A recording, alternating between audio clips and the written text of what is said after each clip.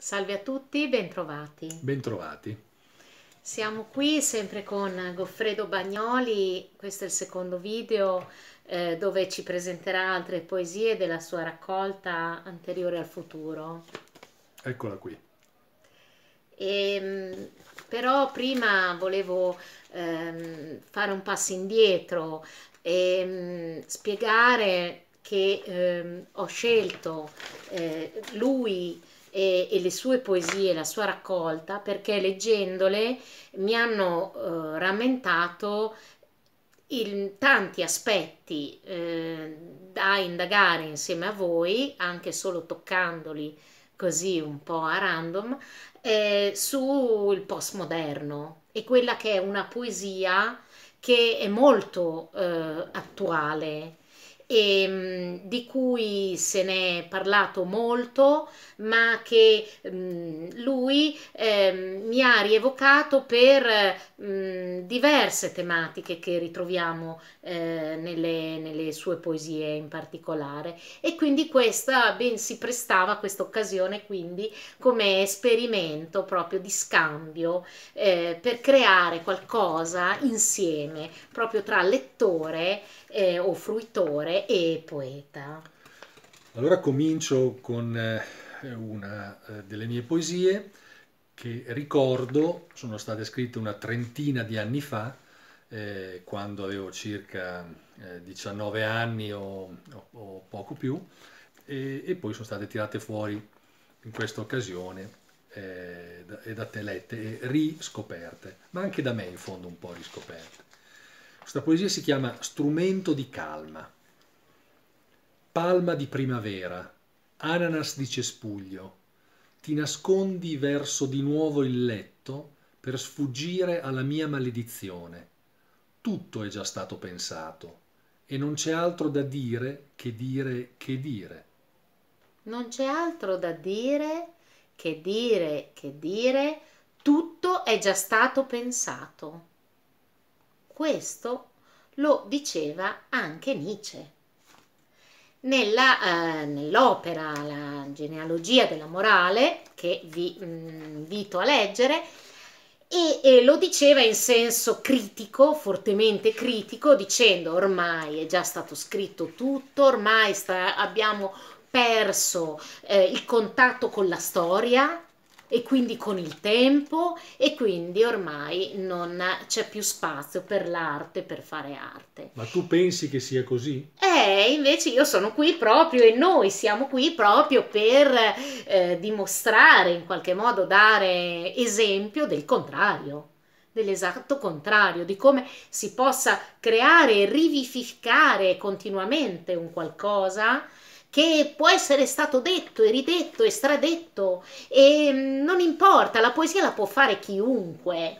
E mm, a questo proposito, quando hai, ti sei richiamato ai tuoi 19 anni, mi hai fatto venire in mente Borges e i suoi 19 anni, quando lui a 19 anni eh, diceva è un puro caso che io in questo momento sia lo scrittore e tu il lettore nell'ottica di dire in realtà noi siamo un nulla di fronte alla poesia, alla forza della parola che ci preesiste, che è anteriore al futuro, come un po' hai intitolato tu.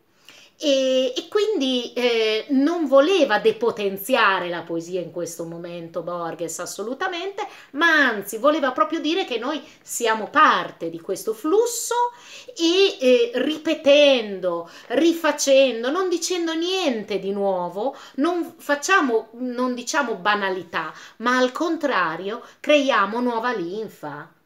E, e questo vogliamo in qualche modo nel nostro piccolo fare, vero Goffredo? Sì, l'aspetto temporale eh, è, è, peraltro presente eh, nelle mie poesie. Allora io direi che mh, mm, ne leggo un'altra mh, mm, che si chiama Visioni di un'idra, è divisa in tre parti e ne leggiamo tre parti separate. Eh, Visioni di un'idra, prima parte è Occhi fenocchi grido il tuo nome e l'eco della palude ne deforma i contorni. Merletto di ragazza, quasi artificiale, ti diffrangi e mi avvolgi rossastra. Accolgo le tue gocce nell'allontanamento in camera oscura. Bocca arcobaleno, fammi riempire di te cigno vellutato rosea nel tramonto. Qui molto potente, molta energia e ci rammenta il privilegio di essere vivi, perché la poesia, qui noi siamo qui anche per chiederci, interrogarci cosa ci dà la poesia, cosa ci dà eh, lo, lo, scrivere. E, mm, e l'arte, l'arte non ci può liberare dalla vecchiaia, dalla morte o essere antidoto di malattie, di guerre, ma ci può però, ehm, come ci dice Tarkovsky, dare dei segnali. Le opere d'arte sono capolavori sparsi nel mondo come segnali di avvertimento in un campo minato. E qui quanti colori, quante immagini, quanti segnali.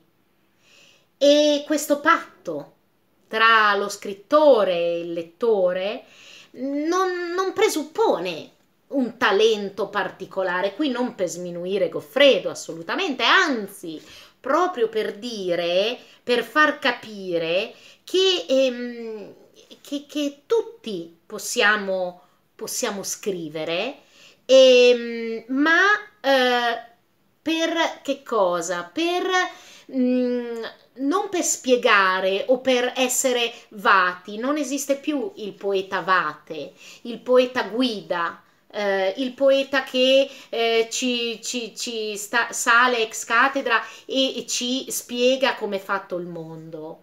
Il poeta può essere un mediatore, un portavoce, portavoce della, della realtà in cui viviamo attraverso l'intuizione, dove si annullano le leggi di causa-effetto in poesia, non esiste più una spiegazione razionale, qui non siamo qui per spiegare le poesie di Goffredo, ma siamo per sentirle, per mm, farcele eh, nostre eh, carnalmente, come lui in modo molto eh, carnale ce le fa sentire con le sue visioni e anche con eh, gli aspetti uditivi, ritmici, che non sono da meno, essendo lui anche e soprattutto un musicista. Sì, mm, buona parte delle mie poesie hanno nella mia intenzione un aspetto ritmico eh, non secondario, un aspetto di immagini, un aspetto sonoro, un aspetto di contrasto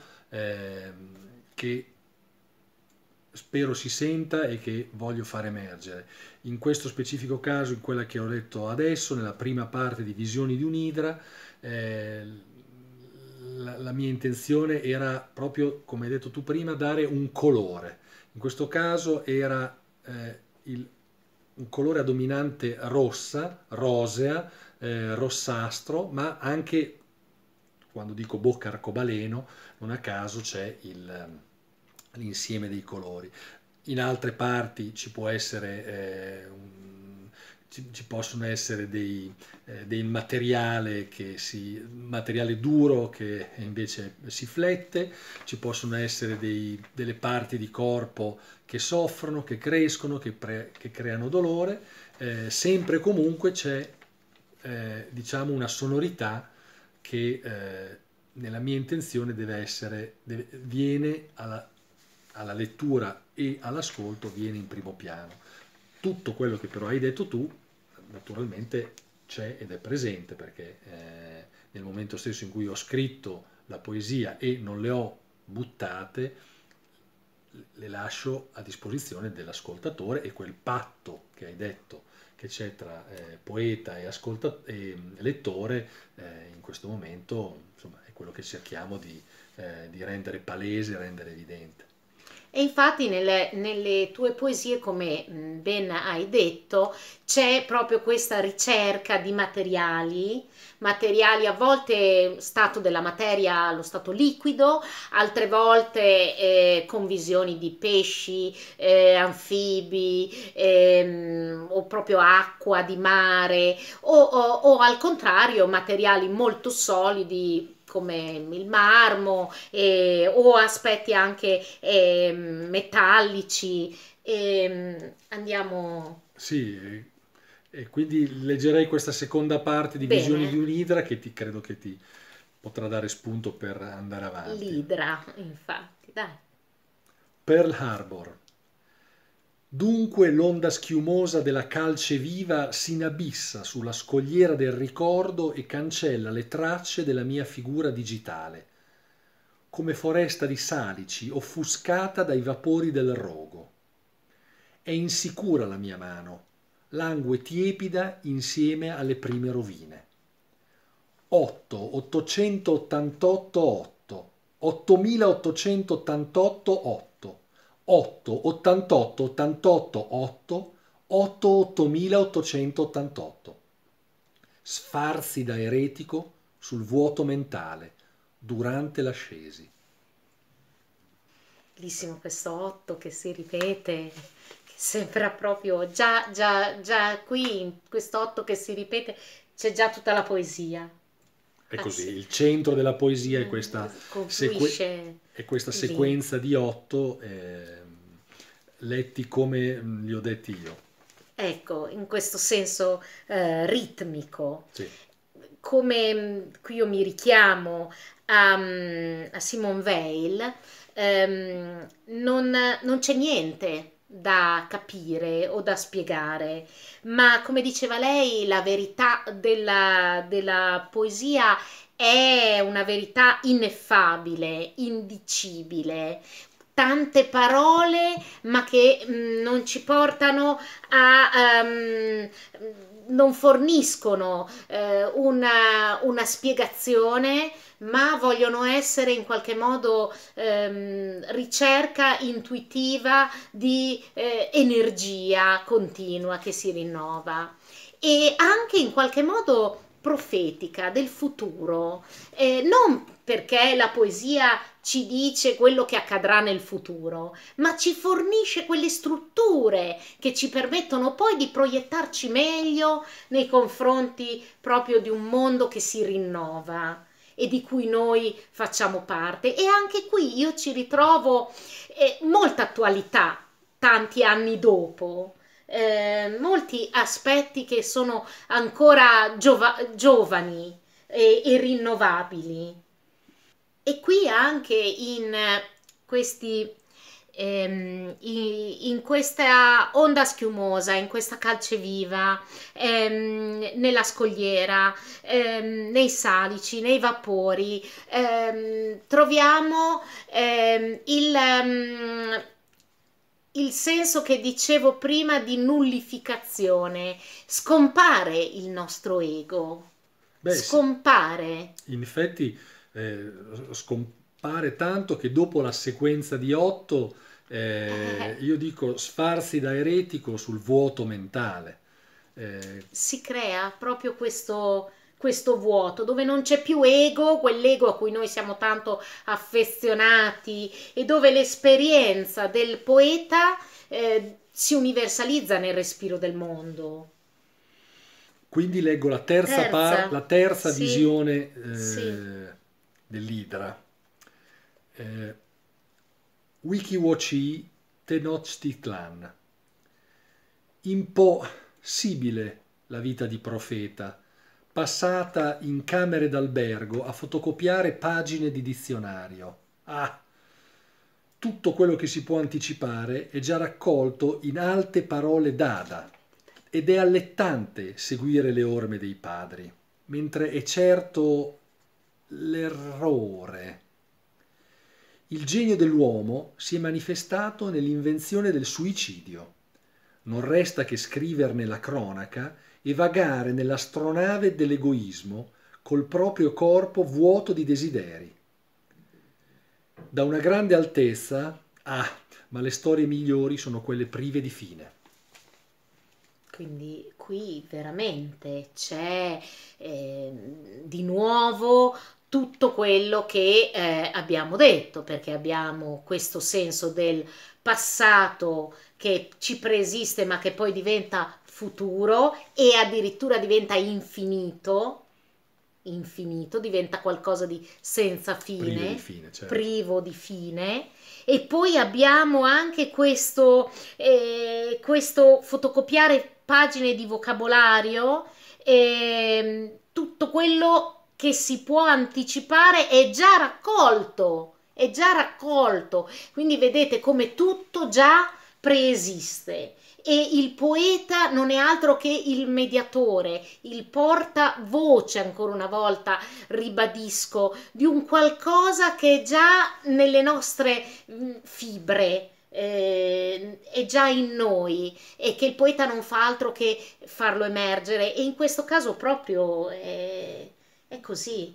Beh sì, allora, laddove nella poesia che avevo letto all'inizio eh, tutto era già stato pensato, eh, qua dico, dico, tutto quello che si può anticipare è già raccolto nelle pagine d'Ada. Addirittura. Quindi, eh, diciamo, laddove vo- volessi trovare un'organicità nelle mie poesie eh, o delle, dei temi ricorrenti, questo probabilmente era un tema che allora eh, al quale tenevo, allora il fatto che comunque le parole hanno una potenza, le, le parole scritte anticipano il futuro certo. e messe assemblate in un certo modo piuttosto che in un altro eh, hanno significati, sensi sempre diversi, sempre maggiori e naturalmente è anche vero che quelli prima di noi possono averle già pensate o anche già dette.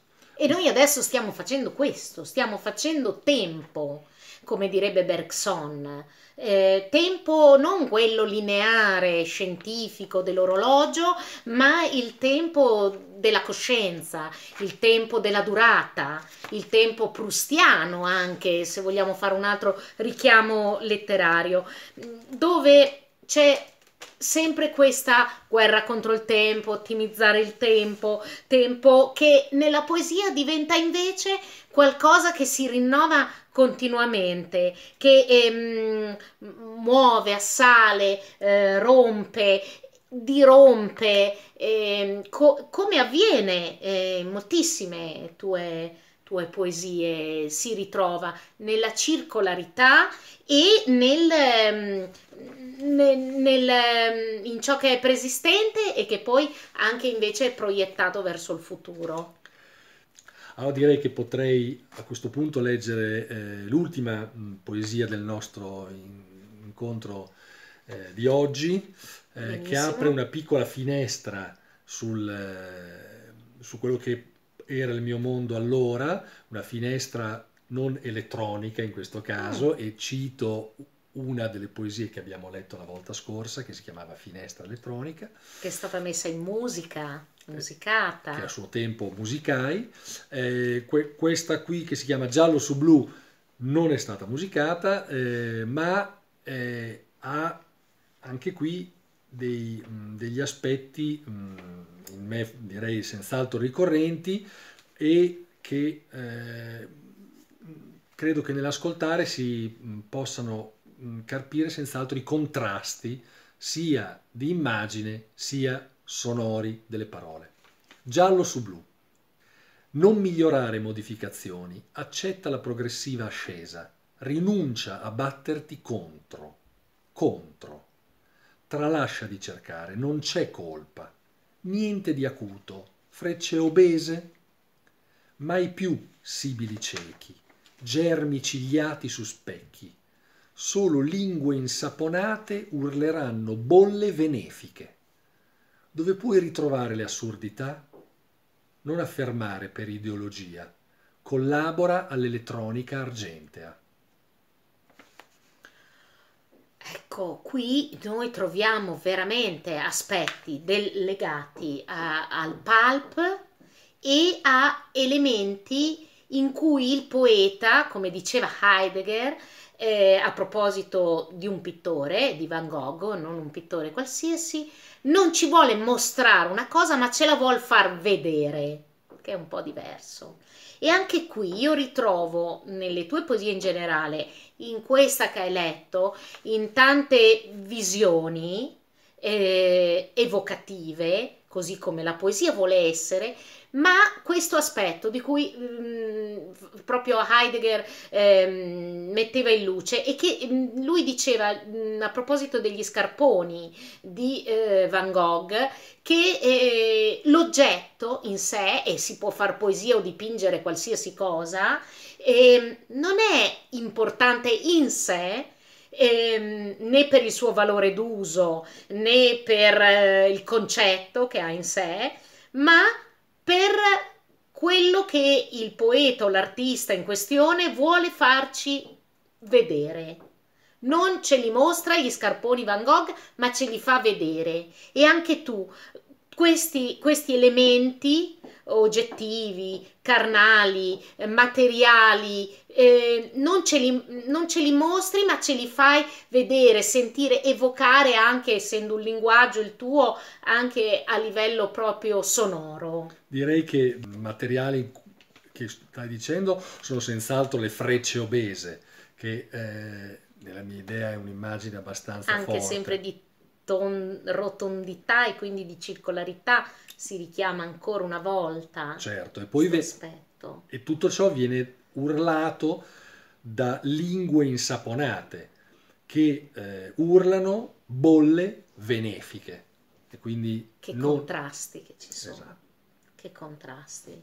Il pulp proprio. Sì, il pulp, nel, il pulp antelitteram, non sapevo neanche eh, che cosa fosse il pulp, pulp fiction era ancora al di là da venire, Tarantino era probabilme, probabilmente aveva, non, non, so se è più vecchio o più giovane di me, ma sicuramente all'epoca non aveva fatto ancora film.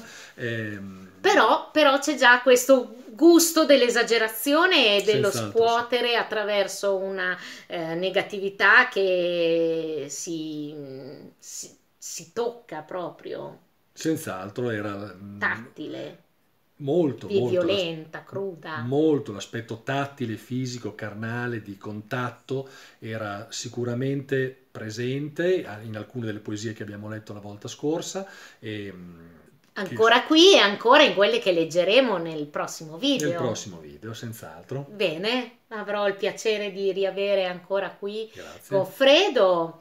Vi saluto, spero vi sia piaciuto questo esperimento, ne abbiate colto il senso. Noi ci siamo adoperati il più possibile per farvi arrivare tanti, tanti aspetti su cui riflettere e perché no, anche sperimentare voi stessi eh, di essere fruitori e poeti. Grazie.